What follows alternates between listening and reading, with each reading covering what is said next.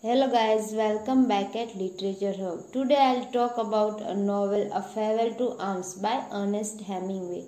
But before I go on talking about novel, let's be familiar with writer and know some other information about novel. Ernest Hemingway, an American writer and son of doctor. He took his education from Oak Park High School.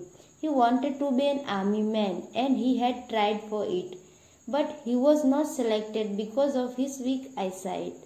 After rejection, he became frustrated and went to Kansas City, where he found a job of reporter. After he it, he found a work as an ambulance driver and he gave up from his previous job. While serving as an ambulance driver, he got injured in war. Then he spent several weeks in hospital, where he fell for Agnes, an English nurse. But one day when he receives letter, he becomes ill because later revealed that Agnes had married an Italian army man. After getting disappointment in love, he went to Paris to make living by writing, where he meet literary figures like James Joyce, Gertrude Stein and Ezra Pound. Even though having help and advice from those well-known literary names, he could not get success in literary attempts. Every time he get rejection from editors. Then one day he was talking to his friend about his failure. His friend observed and thought that why your writing did not get success because you had not suffered enough and did not know misery. Then Hemingway replied that so I have not no misery so that's what you think about me. So here he decided to tell the story of his love Agnes and later comes story in form of novel A Farewell to Arms which brought a great success to him. Now let's discuss the storyline of the novel A Farewell to Arms. Frederick Henry, a young American ambulance driver in Italian army, serving during First World War. When Henry returns to the front, he met Catherine Barkley, an English nurse, who is love interest of Frederick's friend Rinaldi. But Rinaldi gave up on her when Catherine and Frederick comes to close. Here these two characters, Frederick and Catherine, are broken or wounded souls who are looking for emotional supports as she is broken by her fiance's death and he is wounded by war. After getting injured on battlefield, Henry is admitted to hospital in Milan. Many doctors suggested him to take rest for 6 months for better recovery. But he was not ready for such a long period of recovery.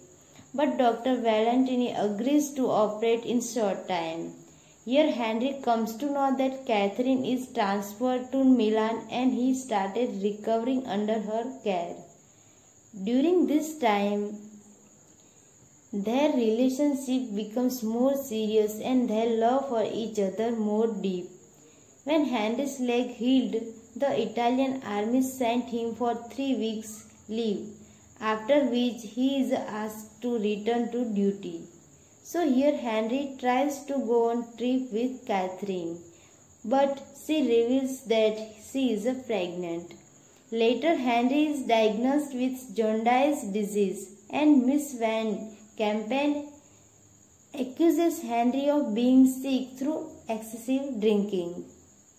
Miss Campen thought that Henry is trying to escape from duty, so she sent him back to the duty. Here Catherine and Henry separated with the promise to keep loving each other. Now Henry went to front where Italian army is not in good condition.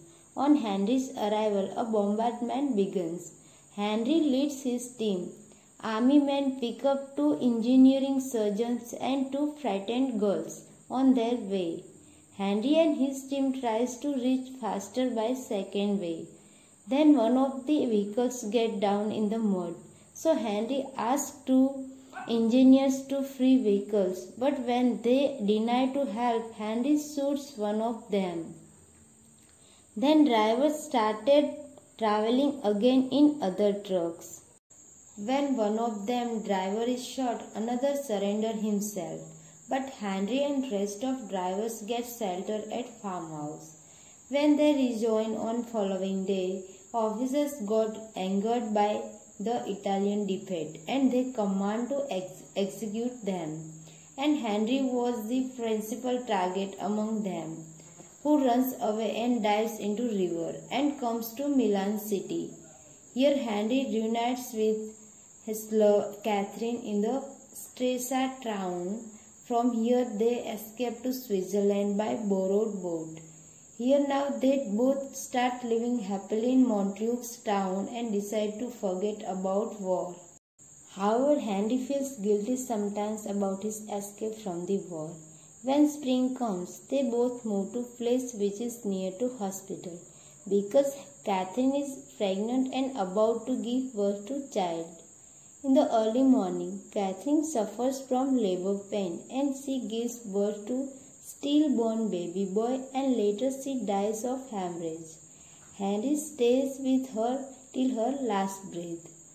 He wanted to say goodbye but he couldn't and then he returns to his hotel in the rain